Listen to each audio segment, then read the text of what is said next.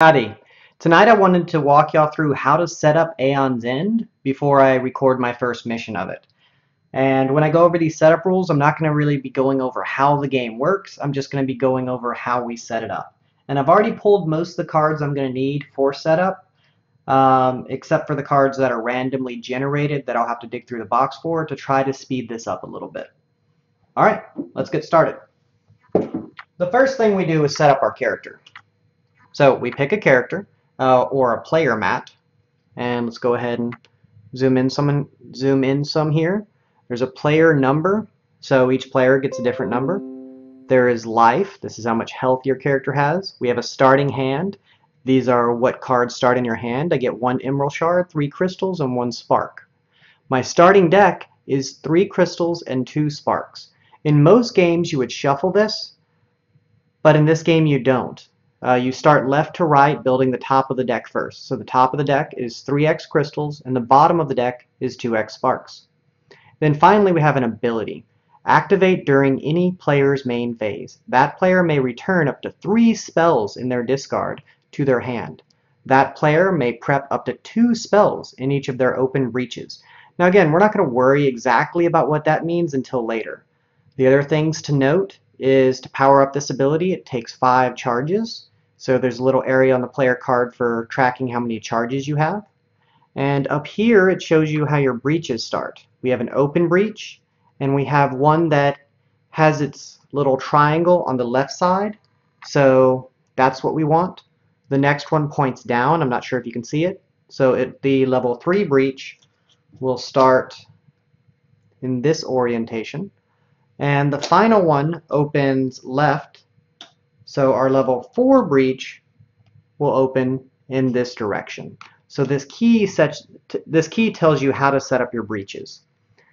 We keep our deck on the left side of our card and our discarded cards on the right side. So you need somewhere to keep your character. I'm going to place my character here. Now I'm not following the, di the directions for setting up exactly in order. I'm just going through, you know, my own way of setting up. So I'm going to start off by putting down my breaches. I need a level 1 breach. I need a level 2 breach that's facing this direction. I need a level 3 breach that is facing down. And I need a level 4 breach that's facing left. I'm going to be playing with only one character. One thing I love about, love about this game, it doesn't force you into playing multiple characters. You can get by totally fine just playing one Breach Mage. So I'm just playing one character, and my starting number is going to be 1. Now I put my life here, and they suggest in the book that we start with a 5, and then five ones, so we can break it down when we need to. And it's easier to count if we do a 5 and some 1s. Because if we just put 10 little heart tokens there, it'd be a little bit harder to keep track of what our current health is. And we'll break the 5 later when we need to.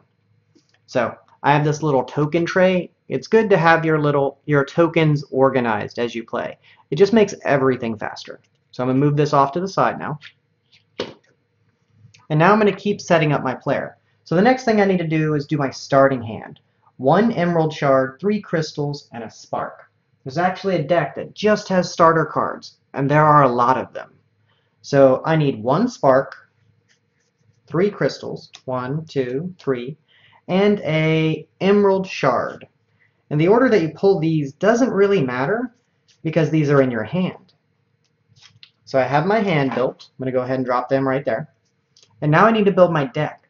My deck is three crystals and then underneath that two sparks. So there's my two sparks. And then I have three crystals. One, two, three. The cool part about this game is there's only a little bit of shuffling. You never shuffle your player deck. It's all based on the order in which you play it and the order in which you discard it. Your deck will cycle, and let's say we played everything, your deck's over here. How you cycle it is you just do that. And that's amazing because I hate having to shuffle all the time. Alright, now we move on to, we have our deck. Um, our player is fully set up. Now we need to set up our enemy. So our enemy, oh, before I get to my enemy, In this game, you're protecting a town. It's like the last holdout of human civilization. The world's already been destroyed, and there's these magic breaches and stuff, and you're trying to protect your last holdout, which is uh, Gravehold. And it has 30 health. So you're trying to protect this town, and periodically the monster is going to attack it and reduce its health. So you need somewhere to store that dial. I'm just going to put that over here. And we need somewhere to store the enemy dial. So now we're moving on to the enemy. The first thing you're going to pull for the enemy is the correct number. Sorry, you're going to pull his dial and go ahead and get it to the correct total, 70.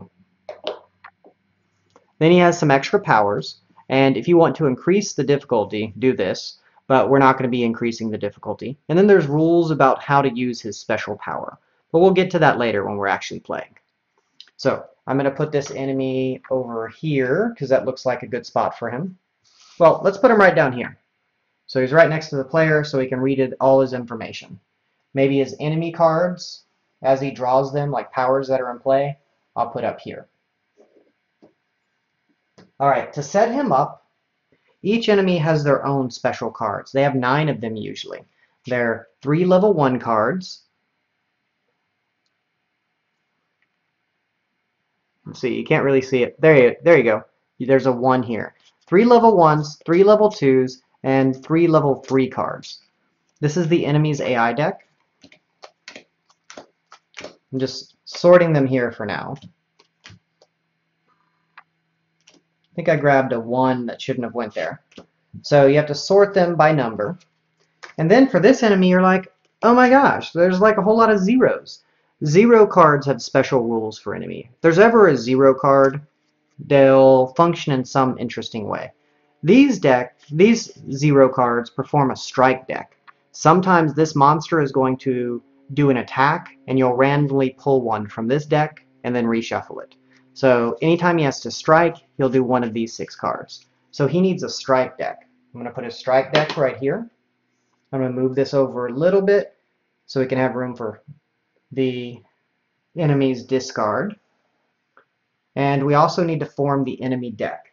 And how we form the enemy deck is we take his nine cards, three ones, three twos, three threes, and we add some basic enemy cards. So we go here and we look at what uh, we look at how many players we have.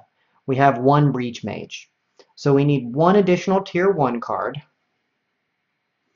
three additional tier 2 cards, and seven tier 3 cards.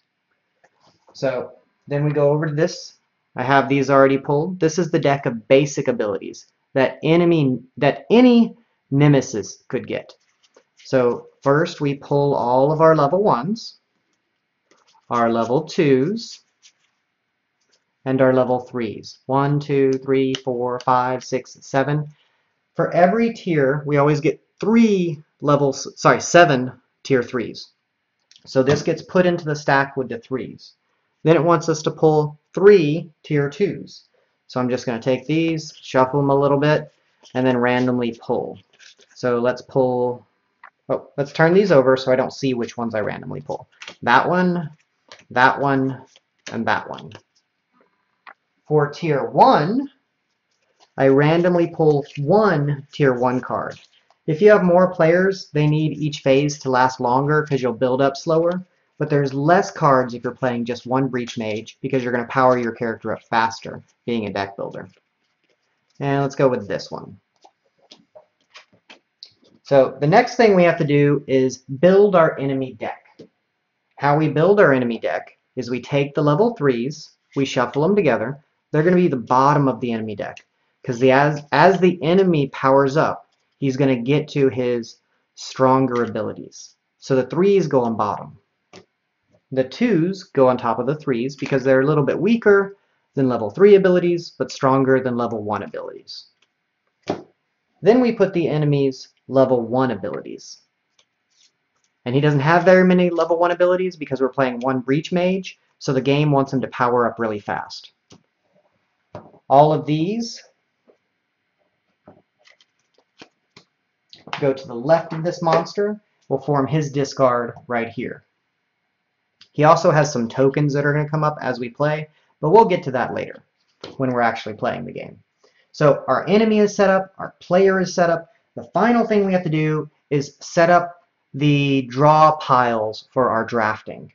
And how we do that, let me double check how many we get of each. So draw phase, exhausted, flipping, nexus setup, supply setup. Three gems, two relics, four spells. So we have these randomizers. So each game you have random draw piles, which kind of make the game interesting. So what we need to do is we need to pull, let's see, three gems.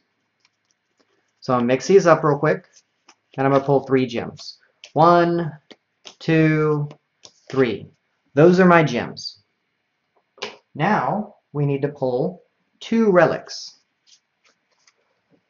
Yeah, these are my relics. These cards aren't actually used in the game, these randomizer cards. These are just to help you randomly pick which items you're going to use. And then we'll go grab these from our box in a minute. Don't know how well the spells have been shuffled. Um, but I think we're ready. And now we need four of these guys. One, two, three, four. So this is all the junk we need. I'm going to start by going and grabbing all my spells. So I need to draft stuff. I'm going to put my draft area. Normally they do it in a little box grid, but I don't know that I'm going to have enough room for that. So I'm going to kind of line them up over here. So let's go pull our spells. Looks like we have four of them. We need these four spells. So now I'm going to go grab all my spells. Huge, thick stack of spells. I need that one. Let's see. Oh, that's one of the ones I needed. So, Radiance. And what else we got? There's some lightning, person throwing fire. There should be more of those in here later. Um, this person doing something with their mind. This little like fire spitting one. I need to find more of those. Here's the person. Nope, that's a different one. There's the right one. And let's keep going, keep going, keep going, keep going. Another one of those. Apparently that one was out of order from the one time I played this game. Alright, we look good. We pulled our spells. The next thing we have to do is we need to go grab our relics. So it looks like those two relics.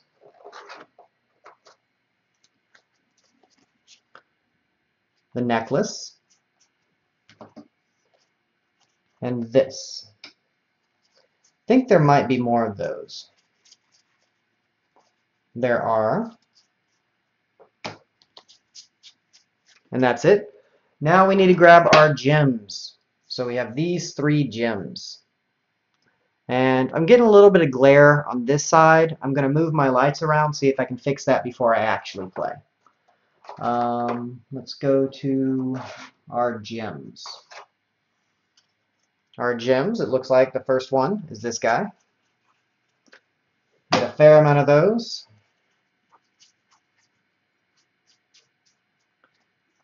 We get those. And those. The randomizers go away. All they're used for is figuring out what you plan to put on the board. So again, usually this is done in a 9 by 9, sorry, a 3 by 3 grid, but right now my camera's not fitting enough, so I'm going to go with just putting them out where y'all can see them and I'll move my character back some. That way, I, when I'm casting spells that end up up here, we don't get confused.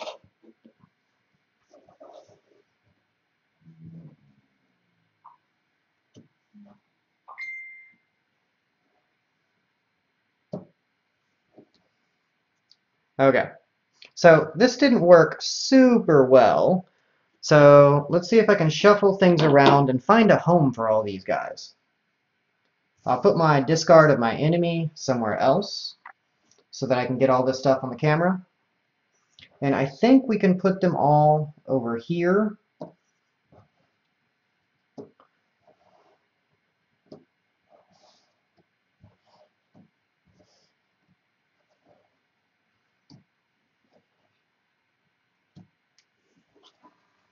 So some of the sometimes this takes a little bit of finagling to figure out where you're going to put everything. A card will fit in each one of those. So I'm going to put my player here, and I don't have room for my discard of my Rageborn. So I'm going to move him up to make room for my discard. So there's how I'm going to be set up. I may rearrange this before I actually play. I'm not super happy with the layout, but our game is completely set up and we're ready for the first mission. Oh, wait, we're not ready. I forgot one thing. We have to set up the turn order deck. Usually, if you're playing with two, three, or four players, there get to be four player turns to every two enemy turns. But when you're playing solo, again, you're going to power up much faster than the individual mages in a multiplayer game. So they let you have a level, they let you have one activation for yourself, another activation for yourself, a third activation with a wild, and then two enemy activations. So you get one less activation each round when playing solo because you're going to power up so much faster than if you were playing two, three, or four mages. Alright, the game is officially set once I shuffle these. So we don't want to know the turn order. We just want to play and let turns come up randomly. So we have to shuffle this a fair amount during the game. Most other things do not get shuffled. I'll go ahead and drop this somewhere that's not going to be in the way, right there. And we are ready to play. All right, thank you all for watching the setup.